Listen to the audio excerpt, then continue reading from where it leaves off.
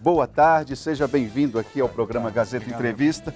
Agora eu vou colocar a minha máscara, porque eu estava fazendo o comercial. O comercial mascarado é meio estranho, então por isso que eu coloco minha máscara. Boa tarde, coronel. Boa tarde, tá. Bom, primeiro eu quero, eu quero aqui, para não, não dizer que eu sou tão antipático, parabenizar pela, pela conclusão desse curso da Rotan. Exato. É, são 23 raiados aí, né? O Exato. pessoal aí com- conduzido pelo, pelo coronel Inácio, é isso? Inácio, Ah, Inácio. Inácio, aquele camarada é atencioso, é um bom ouvinte. Que bom que pelo menos tem mais 23 pitbulls aí pela rua, é isso, né? Exatamente, né? São pessoas qualificadas, né? É, no sentido de prestar um serviço diferenciado à sociedade. Que tipo de serviço? Explica pra É, gente como- o que é que é a Rotan. A Rotan é um- é uma unidade, né? é, originária da- da- das polícias militares do Brasil, tendo como principal referência a rota e se destina à retomada da ordem, né? Em ocorrências de elevada complexidade. É, ela se caracteriza pela utilização da viatura policial, pelo deslocamento rápido e por atuação tática diante de ocorrências em que há uma exigência mais elevada do exercício da força policial. É uma unidade vinculada ao sistema de radiopatrulhamento, né? E é efetivamente esse apoio diferenciado, né? Em ocorrências que carecem de uma resposta diferenciada. Perfeito, que bom então. Bom trabalho para eles, espero que eles consigam dar a resposta que nós precisamos. Bom, coronel, é, bom, secretário, né, que aqui está na condição de secretário especificamente.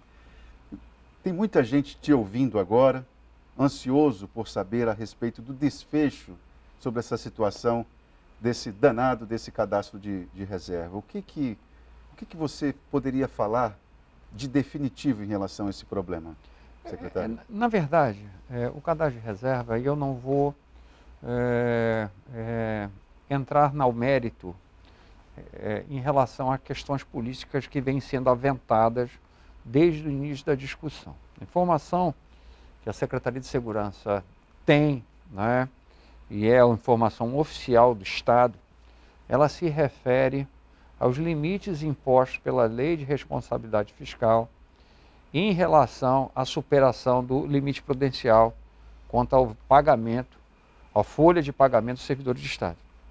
É, é- é notório e de conhecimento de toda a sociedade que desde o, de, do ano de, mil, de, de 2017 o Estado ele está acima do limite prudencial.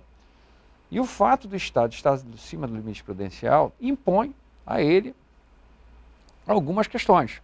E uma delas é a proibição de contratação, exceto eh, no que tange a recomposição dos quadros, repor aqueles servidores que se aposentaram, que por motivos diversos pediram exoneração ou foram exonerados, né, das áreas de saúde, educação e segurança. né? E é pautado nessa, nessa, nessa brecha da lei, ou nesse parênteses da lei, é que o Estado vem fazendo reconvocações, como já fez três em relação à Polícia Militar, e, também fez da Polícia Civil. A Polícia Civil, inclusive, em razão da, dessa brecha na lei, ela teve um aumento do seu efetivo total em mais de 30% desse governo.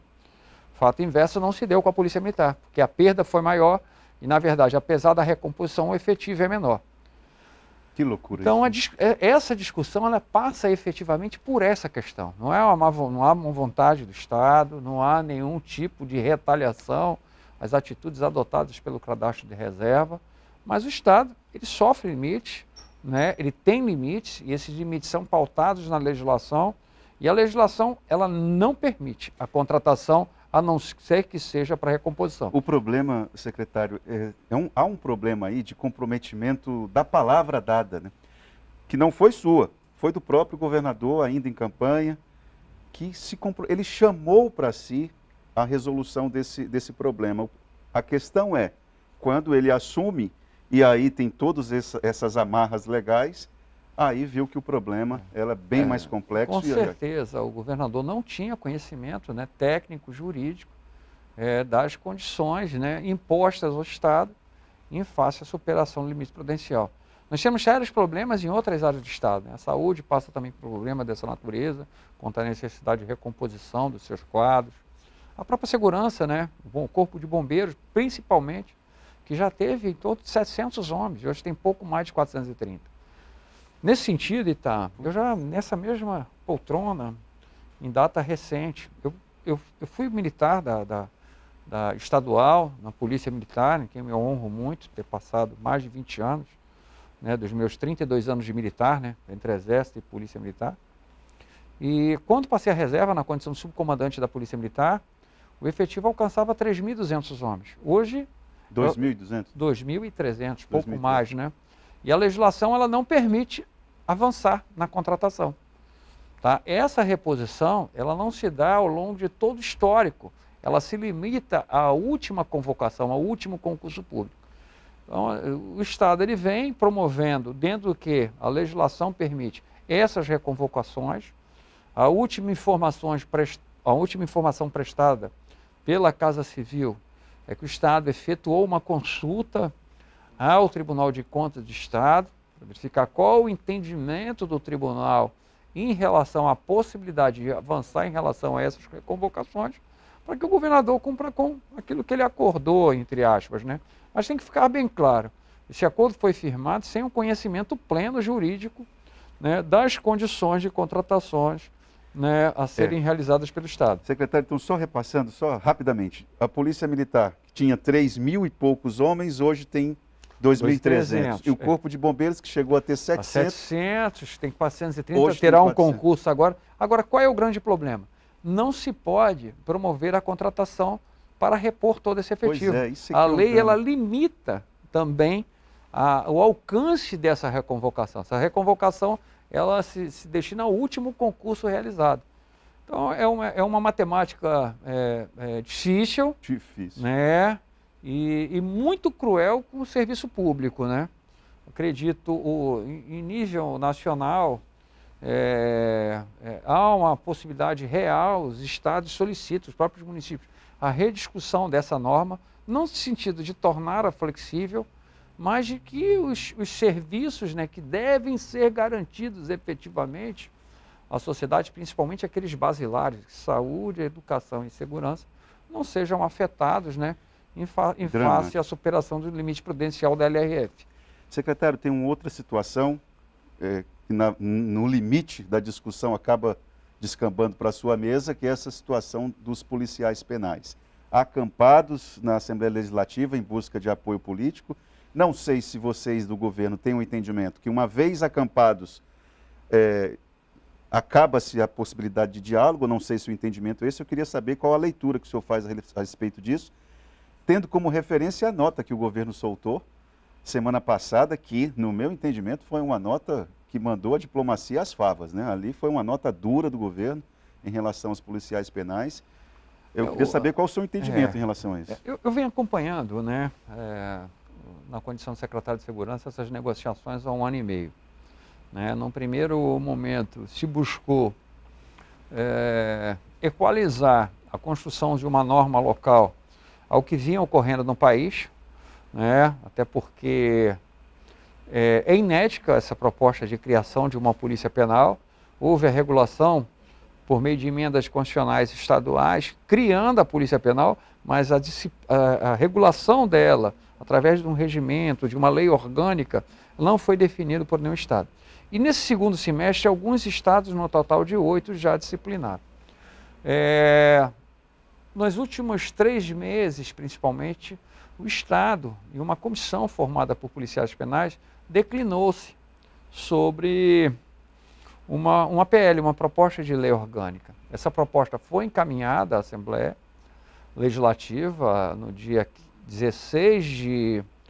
É, para ser mais preciso, no dia, é, no dia 16 de novembro né, do corrente ano, essa proposta teria sido acordada, é, a princípio, né, né, né nessas tratativas realizadas, e após a apresentação dessa, dessa dessa PL, surgiram mais três pautas né? Hum. Surgiram umas três pautas né, aventadas. Duas dessas pautas, houve um avanço inicial em relação a elas, né, que foram em, em relação, não na sua amplitude, né, que uma tem natureza vencimental, é, se aplicada da forma como sugeria as representações de policiais penais, que era a criação, que é a criação de um subsídio e, consequentemente, o reflexo dele sobre as demais vantagens, o que é possível, desde que os reflexos desse subsídio não impliquem aumento da folha de pagamento, que também é uma, uma imposição da lei de responsabilidade fiscal. O Estado não pode, em hipótese alguma, alterar, propor leis que impliquem em aumento de folha de pagamento. Isso foi superado a partir do momento que pode fazer o subsídio, mas não pode se aumentar a folha. Ponto. Uma outra pauta que seria a direção das unidades prisionais. É importante frisar que essa nova polícia penal criada, ela tem um objetivo específico, que é a segurança das unidades prisionais. A gestão administrativa da execução da pena, que envolve não só a custódia, mas principalmente a ressocialização, não é competência da Polícia Penal, Sim, é do Instituto de Administração. Então, assim, o Estado entendeu que é possível, desde que essa administração, essa direção das unidades, fosse só naquelas unidades que se limitam à, à custódia, que não tem ressocialização. Custódia, que é o previsto de segurança máxima, o famoso RDD, né? Regime de disciplinar diferenciado. diferenciado. E a última pauta que é a polêmica, é onde está assentada a polêmica, que é o nível superior. E nesse sentido aí, é, é uma discussão muito técnica, muito técnica, em face a um julgado recente é, de relatoria do ministro Marco Aurélio, né, já Marco aguardando, Aurélio, pensei, ah, é Marco é, Aurélio. É, aguardando a sua substituição, né, uma novela que nós estamos vivenciando no país com a substituição. Mas parece que vai, dar, vai ser o rapaz lá. É verdade, mas de qualquer forma, para ser mais objetivo, né, é, esse julgado determina que os cargos de nível médio não podem ser reaproveitados nos cargos, não, com a criação de cargo de nível superior. Não poderia haver reenquadramento de nenhuma carreira de nível médio para superior. E aí está o impasse. É um julgado recente, é um julgado de abril deste ano, é um julgado com repercussão geral, ou seja, quando se trata de um recurso extraordinário com repercussão geral, o, os efeitos deles, a partir de qualquer outra situação similar, devem ser aplicados e há esse embate técnico. Né? O então Estado... precisa saber o entendimento do Supremo para poder... Exatamente. Então o Estado fez uma proposta né, que garante os direitos, né, obrigações e prerrogativas similares a esse novo cargo que está sendo criado em nível superior e a discussão está pautada nessa questão. E aí vocês tensionaram a corda, retiraram o PL da, da Assembleia? Com certeza. É. A, a, a, retirada do PL se deu em face a um movimento que, né, é, é, que o Estado não pode, em hipótese alguma, passar a mão, que foi a obstrução da visita é, programada. Eles negam. É, é mas é, o, o, as provas estão nos autos, né, que demonstram isso, né? Existem imagens que demonstram isso. A situação é muito clara, muito evidente. Né? É, isso gerou uma revolta de familiares. Isso foi a gota d'água para que o, o Exatamente, né? Isso aí, então os fatos estão aí, a imprensa acompanhou, então é uma questão muito transparente. O Estado, em hipótese alguma, né, promoveria qualquer perseguição a uma carreira. Num, nós vivemos no Estado democrático de direito, as informações elas são muito transparentes. Né? Secretário, qual é a condição para que o, o diálogo seja retomado? Não, o diálogo foi retomado. Hoje o sindicato. Mas de forma eficaz. O diálogo foi retomado com os sindicatos policiais penais, que constitucionalmente é, é, é, é o órgão de representação de classe é, legitimamente é, é, é, capaz de promover essa negociação. O governo do Estado já apresentou uma proposta. Amanhã, a princípio, acho que amanhã, depois de amanhã, esse sindicato já marcou uma Assembleia Geral para apresentar qual é a proposta legislativa que, que, que ampara os anseios da classe no que tange a garantir a, os direitos, obrigações e prerrogativas desse novo cargo que foi criado de policial penal e esperamos uma resolução pacífica, né? É uma questão meramente de direito, do meu ponto de vista, né, de interpretação de alcance é da norma. É mais jurídico que político. Com certeza, mais jurídico que político, apesar da politização efetiva. Eu, eu, eu, eu digo que no Acre até é, jogo de porrinha, né? Vira, Vira política. política. Apesar de eu não ter essa, eu não ter muita ambientação com a política, tenho dificuldade desse ambiente. Não, mas tá, aqui, então deu tu... tratamento técnico que a política vem a reboque. Exatamente. Secretário, nós tem aqui uma pergunta do, do Maurício do Conjunto Bela Vista, que é, é de quem. É uma pergunta feita para uma pessoa que carrega o piano. Vamos lá. Eu gostaria, mas a gente vai responder no próximo bloco. Eu gostaria de saber do senhor por que vocês cancelaram o show do MC Ponzi há alguns dias? Ótimo. É, no dia do show e não, e não antes, já que o pessoal que promoveu o evento foi procurar todas as partes responsáveis para saber se podia ou não. Alegaram que ele fazia apologia às drogas, entre outras coisas. Isso tudo vocês ficaram sabendo por causa de um vídeo que circulou é, de um outro show dele em outro estado. Qual é a diferença do show de hoje para o show desse rapaz Ponzi? Oh, Será que não falta mais empenho da PM no show? Enfim, essa é a pergunta do Maurício do Conjunto Bela Vista. Vamos para o intervalo. Já voltamos com o secretário de Segurança Pública.